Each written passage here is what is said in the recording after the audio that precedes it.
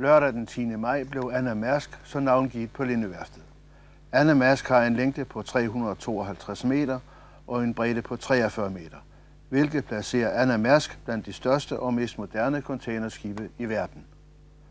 Anna Mærsk er udstyret med en 12-cylindret HSD dieselmotor, der yder 63.000 kW ved 100 omdrejninger i minuttet, svarende til 85.500 hestekræfter. Udover de gode faciliteter til normal besætning, er Anna Mærsk indrettet til uddannelse af 10 officersaspiranter i særskilt indrettet uddannelsescenter.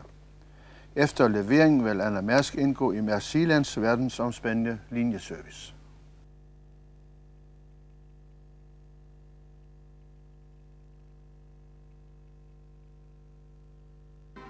Nu kan vi se, nu begynder busserne at komme med gæsterne, der er indbudt til øh, dåben, som finder sted i dag i strålende solskin. Det er dejligt vejr at stå hernede i i dag.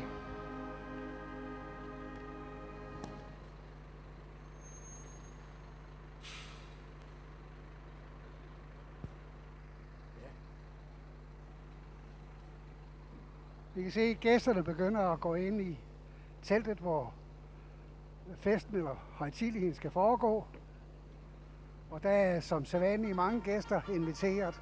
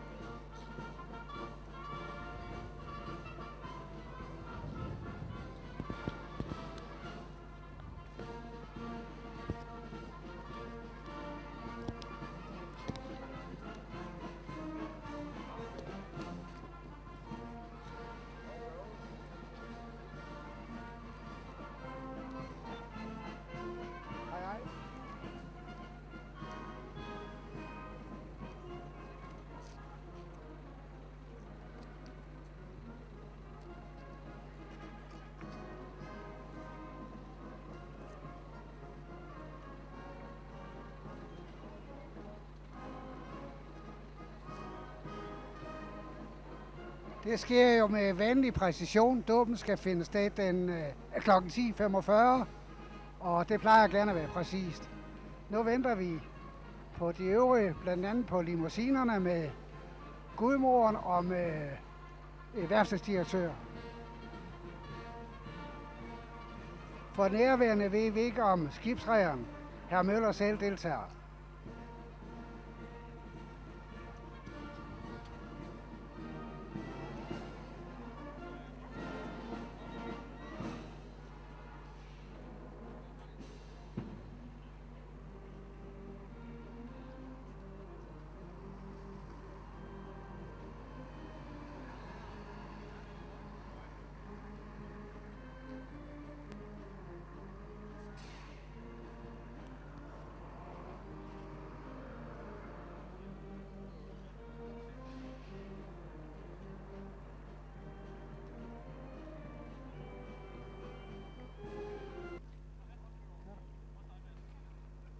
Vi kan se, at skibets officerer er stillet op på række med kaptajnen i spidsen. Kaptajnen, han er øh, fra Åben Rå, eller fra Haderslev, undskyld, og det før, han hedder kaptajn Flemming Kjær, og det er Finn Jeppesen fra Hvidovre, som er maskinchef.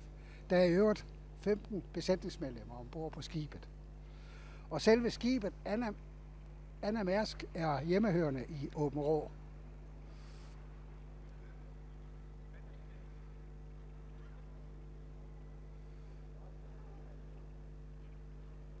Nu kommer den. Nu ser vi, at kortege begynder at komme, som sædvanligt anført af vagtmesteren. Nu kommer de store limousiner med de prominente gæster.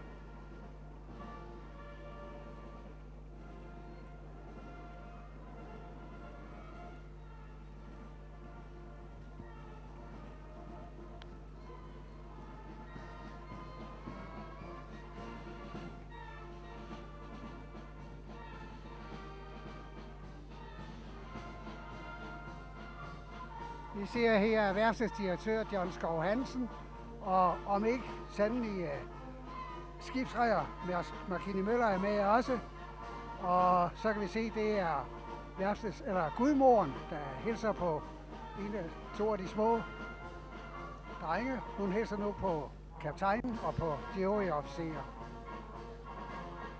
Gudmoren er i øvrigt fru Gitte Kristrup, som er gift med advokat Henrik Kristrup, der er bestyrelsesmedlem i AP Møller og hustru Sertine Mærsk Markine Møllers Fond til almene formål. Og det er hende, der skal navngive skibet selvfølgelig.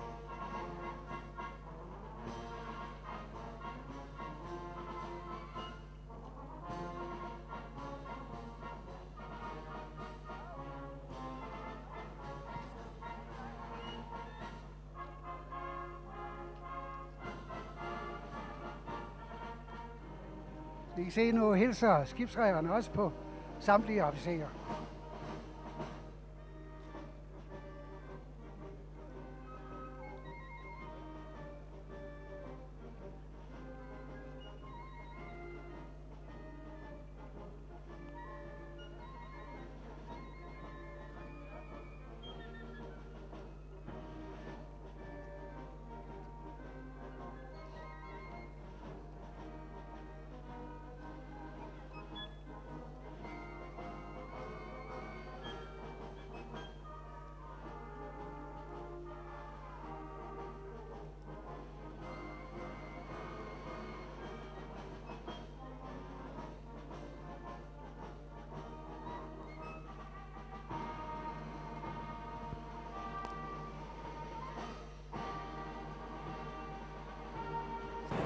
Ladies and gentlemen, dear guests, today this Mrs.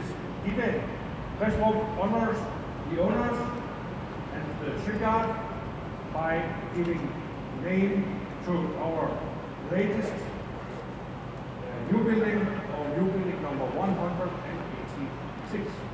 The ship is uh, one in a very large series of very, very large container ships. She will leave Inno in uh, approximately one week. We are almost finished. Only one very important thing is missing. The name. Please, she's all yours.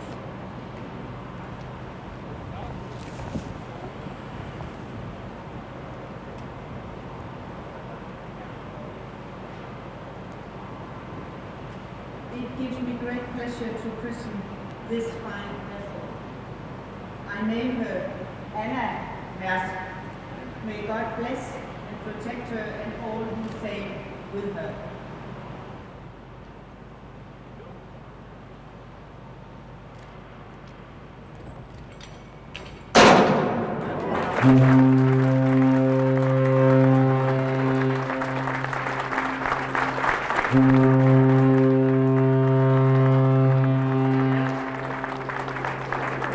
Hip,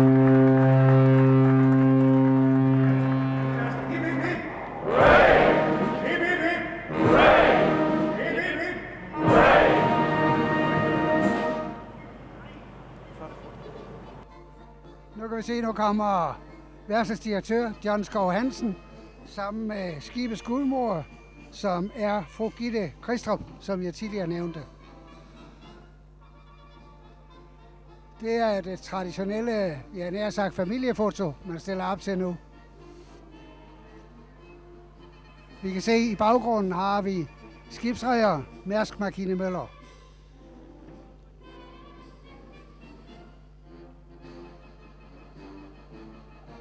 Og jeg kan se, vær, eller skibets kaptajn, undskyld, han øh, deltager også i det første foto, der skal tages.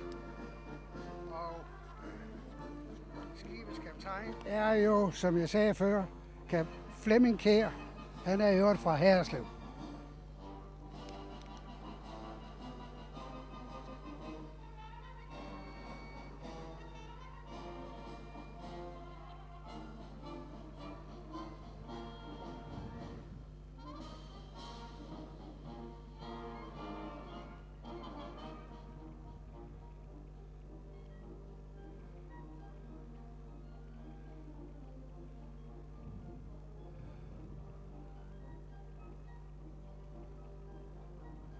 Så skal vi nok have et billede af både øh, skibsrejermask Kine Møller og øh, godmoren og hendes mand, samt øh, selvfølgelig værftsdirektør.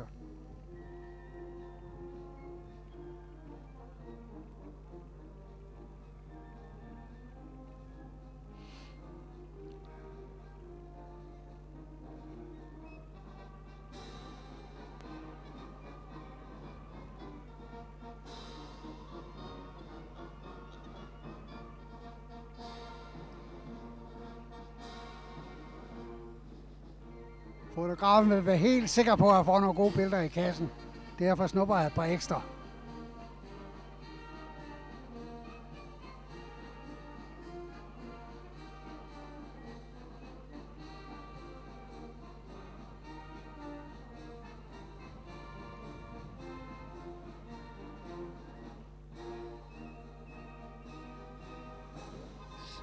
Så starter marchen for orkestrets vedkommende, og vi kan se, at alle gæsterne også er på vej. Mange af dem skal ombord, og jeg tror, der bliver, bliver skænket et glas champagne og lidt kransekage måske. Nogen deltager måske ikke i den lange tur op ad lejderen, men øh, det får vi se.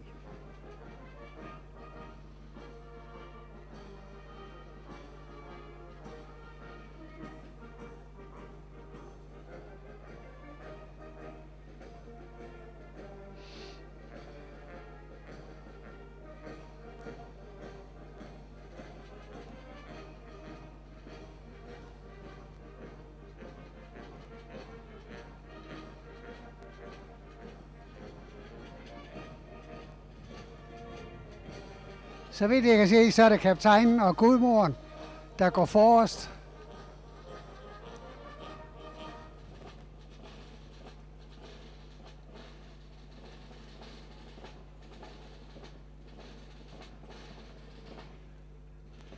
Vi kan jo glæde os over, at værftet har fået nye ordre. Ved den sidste navngivning så det lidt sortere ud. Der var ordrebogen ved at være tømt, men nu er der gudskelov kommet nye ordre. Så det gør situationen lidt lysere.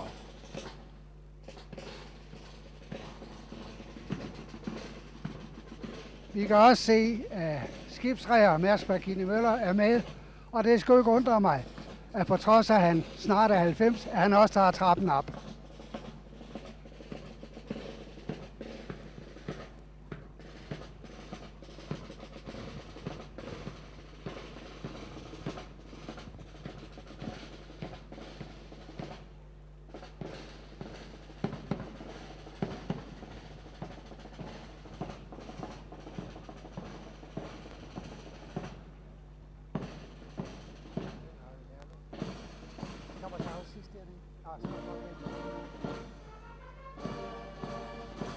Som man kan se, så er der mange gæster med, og det plejer der altid at være.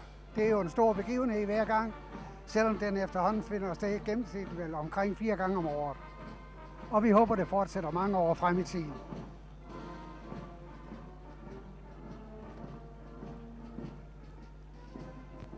Vi kan se her som de sidste, der kommer øh, nogle af værftets lærlinge. Der er altid inviteret lærlinge med til navngivning, og de er anført af deres øh, chef, Heine Rasmussen.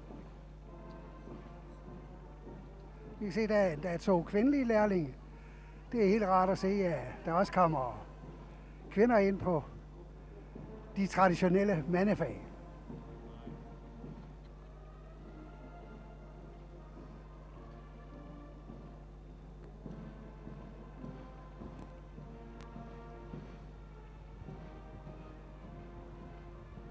Helt mærkeligt at se en skibsbygger på højhæle.